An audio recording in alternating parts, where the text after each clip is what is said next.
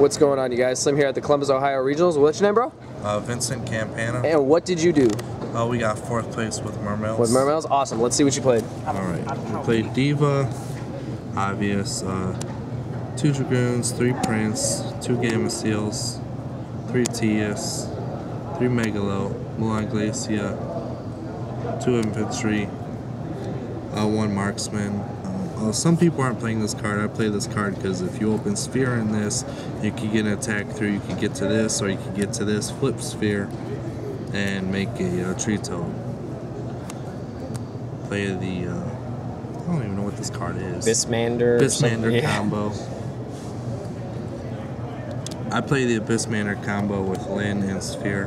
Other people are playing Healed. I don't like Healed. I like this because if they, it came up like at least five times. They they try to OTK me or push for game. I flip this, get this, have this in hand, get Pike, pitch this, so I have two blockers. And if they're trying to kill me through Maxi, I just draw cards and live.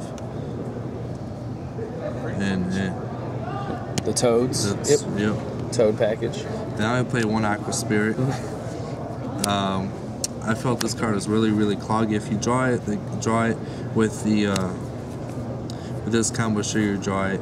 But if you uh, just open this with a level four water monster standalone by itself, you should be able to just combo off. And then play one Pike and one Turge and two Maxis. Uh, emptiness. The reason I play this is uh, uh, DDD. So like most of the time, you normal summon this. You open this DDDs. They're they're summoning a zero attack monster. So you open these two cards, and then they go to fusion summon. You flip this. Your answer for the emptiness is already on the field. So this stick stops them from summoning. Next turn, you activate this effect, turn this off, and just kill them. So, how many times did that go off today in the nine Uh, rounds? Uh, emptiness quite a few, and actually, when I played my DDD matchup uh, round three, that's exactly what happened. Of course, I opened it, Nice. and then uh, Raigeki one for one, Soul Charge, and three instant fusion.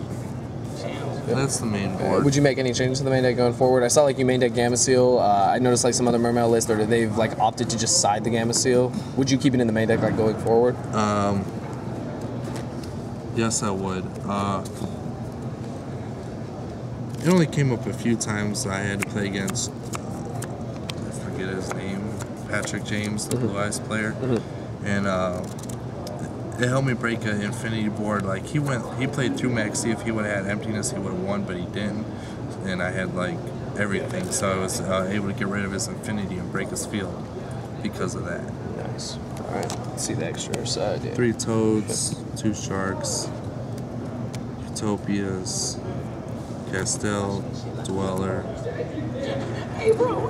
Biscayos. This is the best card in my action. Really? How many times? How many times did that come up today? This came up like at least ten times. today. Wow. Uh, I um, same thing against Patrick James. I, I took his he uh, he took this with Cipher, and then uh, and then it, it left there. I, I soul charged back, and I made uh, Castel returned this, then brought this back out. Oh, wow. Then took his Cipher, then took his other. Oh wow. so you basically flipped the tables on them. Yep. Makes sense. And then I, this is uh, for the Moulinglacia play. And then this is another uh, Moulinglacia play. If you open one for one, uh, and any water monster, you can make Tree Toad, the Shark, and Moulinglacia. Makes sense. All right. Let's just see the side. The sideboard, I didn't use this card at all. I didn't play a single ABC deck today. Yeah, they were they were not really high in the showings at all.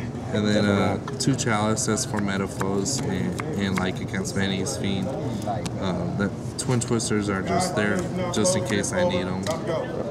Real two quick. barriers, three anti spells, two crows, and two flying seas. Awesome. Awesome. All right, man. Well, congratulations on getting top eight, and thank you for the deck profile.